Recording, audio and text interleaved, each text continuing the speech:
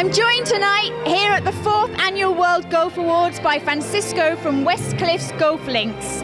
And West Cliffs have just picked up a very prestigious title, one of the night's biggest winners, World's Best New Golf Course.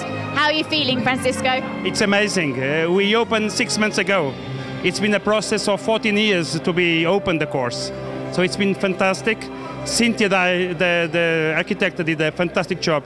The course is amazing. The views are spectacular, and the clients have been enjoying all the um, all the course.